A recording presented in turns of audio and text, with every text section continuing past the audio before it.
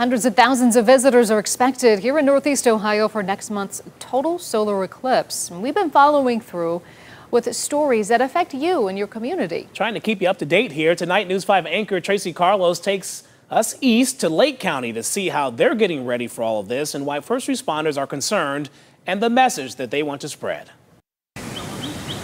The sun is shining, birds are chirping.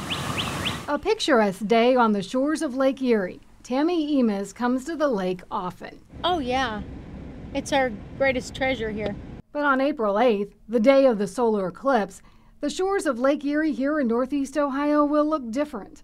A lot more people are expected. In those areas that the population has doubled, certainly for two to three days. Lake County Sheriff Frank Leonbruno told me they have been in contact with law enforcement agencies in cities that have been in the path of totality before. Some places that it would take you a half hour to travel to a destination took six to eight hours. Because of the potential traffic, the sheriff told me most schools will be closed. Most court cases are canceled. More dispatchers will be working and staffing of first responders will be beefed up for accidents and medical emergencies.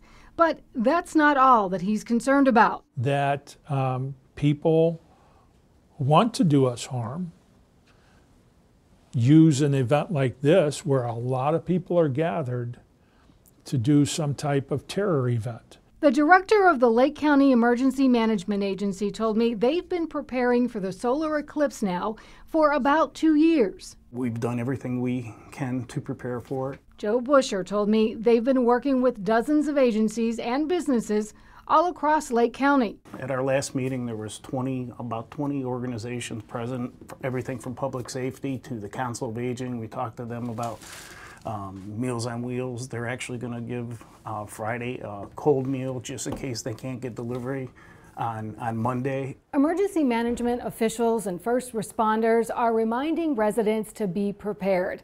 They say they want that message out. They say prepare, for example, like a snowstorm is coming. In Lake County, Tracy Carloss, News 5. So part of the preparation may be staying home. If you do, we'll bring you live coverage from start to finish. And if you're going somewhere, make sure you download our News 5 app and watch our coverage as the eclipse works its way to you. And if you want to be in a crowd and you're looking for a place to watch, join us at Avon Lake Memorial Stadium. We'll be there at exclusive station broadcasting there for you. You can check out all the details on our website.